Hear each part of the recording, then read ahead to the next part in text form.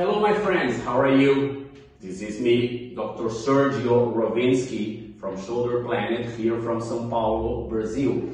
In this video, I am presenting an unusual arthroscopy, which is the arthroscopic management of calcific tendonitis of the shoulder in those cases which present absolutely refractory or non-responding to any kind of conservative management. We know that uh, the vast majority of the cases of calcific tendonitis of the shoulder, they do indeed get better with a lot of non-operative measures. Physical therapy, injections in the subacromial space, um, even shock wave therapy, and uh, so on. But nevertheless, just some cases they really end up not uh, uh, having a response to any kind of conservative management. And in this sense, over time, once we infer the failure of non-operative management,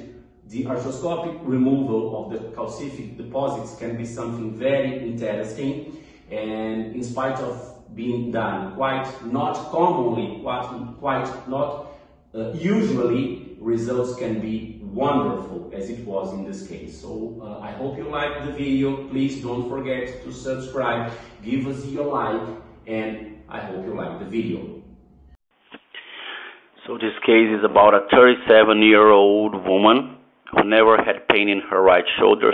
This is her history. Three years ago, she started to develop very intense and sudden pain in her right shoulder. She went to the doctor and she was told she had a calcific tendonitis in her right shoulder.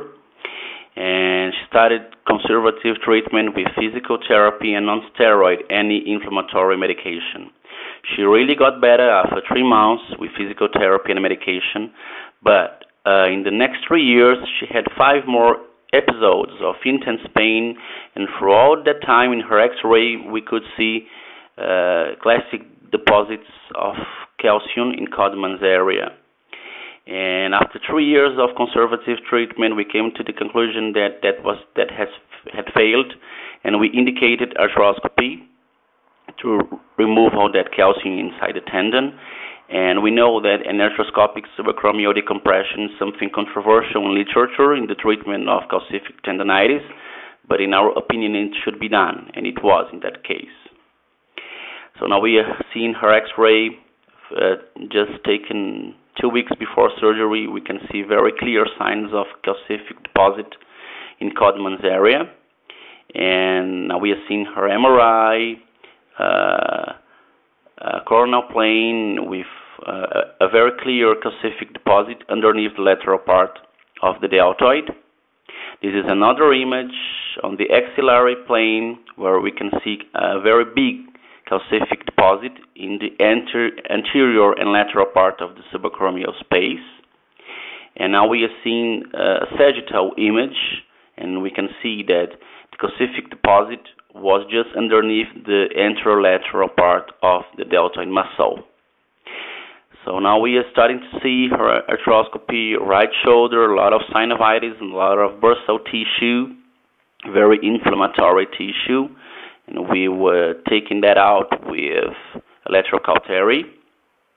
After that, we're starting to cut the coracoacromial ligament, and this is the first part of the acromioplasty. We are releasing it from its acromial insertion, and after that, uh, coracoacromial ligament was absolutely released from its acromial insertion, as we are seeing now. When at that time we started to perform very soft acromioplasty through the lateral portal. Uh, we performed a very smooth and soft acromioplasty, and now we can see the final the final aspect of acromioplasty. At that time, we started to look to the tendon in order to find the calcific deposit. So we were palpating it with the probe, and using a spinal needle, we could easily find out the, the calcific deposit. So once it was found, we started with uh, shaver to create the smallest window that we could in order to remove that calcium. So we entered through the lateral portal with a small curette.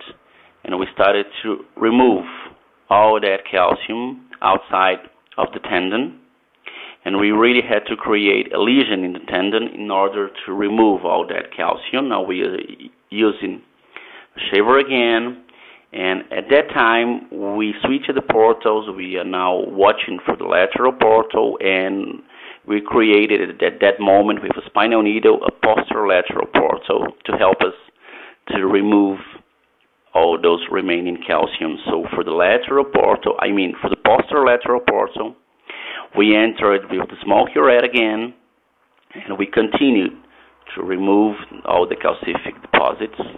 And now we switch the portals, and we are watching for the posterior lateral portal and working for the lateral portal, still removing all that calcium.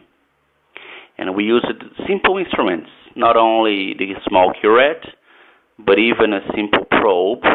And with a probe, we could remove the bigger pieces and the biggest pieces were removed with simple hemostat, a simple Kelly, and with the, the Kelly we could remove the biggest pieces. And at that time of the surgery, we wanted to be sure no calcium was left inside the tendon, so we entered with radioscopy, as we are seeing now. So we entered with radioscopy, uh, and with radioscopy we could see in the TV uh, that was the the image.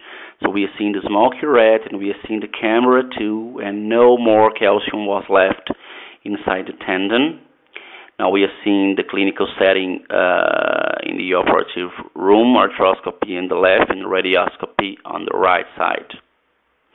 And after that, we are seeing now the final the final image in radioscopy. So we are seeing no more calcium inside the tendon. So at that time, we would just have to fix the small lesion that we had just created in order to remove all that calcium. So we are creating a bony bed in the greater tuberosity with a burr. And once that was made, we would just have to put one single anchor. So we are creating a hole. And after that we would just have to put the anchor. We use the 5.0 absorbable one double loaded as we are seeing now. So once the anchor was in the right place we would just have to fix the tendon so at that time we switched the portals again and we started looking for the lateral portal and working for the posterior portal. And with a single bird beak we enter the posterior part of the tendon and in a retrograde fashion we pick it the first suture and pull it out of the shoulder through the posterior part of the tendon as we are seeing now and after that we did the same uh, the same thing again we entered through the anterior portal and with a bird beak too we passed that through the tendon and in a retrograde fashion we picked the second suture, the blue one.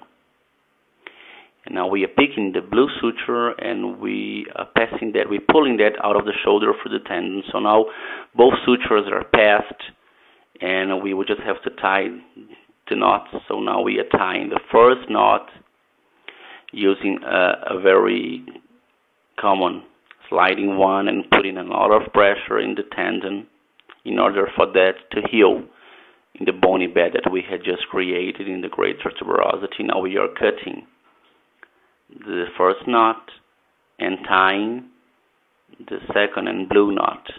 So now we are tying the second knot and still putting a lot of pressure in the tendon as we see now. And once the knot was done, we would just have to cut it. And now the knot is being cut. And this is the final image. This is the final result. A very healthy tendon. The lesion was absolutely fixed. The tendon looks good. And at that moment of the surgery we even took a look in the muscle belly of the supraspinatus as we are seeing now in the left part of the video and the muscle belly is looking very fine tendon looks very nice, and at that moment, uh, our surgery was then finished. So, my friends, I hope you liked the video. It shows a lot of good ideas in order for the surgeon to be able to remove the calcific deposits in the Codman's area in the subacromial space using radioscopy and using not only standard portals but also the posterolateral portal which is something very interesting. I hope you liked it. Please don't forget to subscribe give us your like, leave your comment, this is very important for us. See you in the next video and as Dr. Sergio loves to say, never stop flying.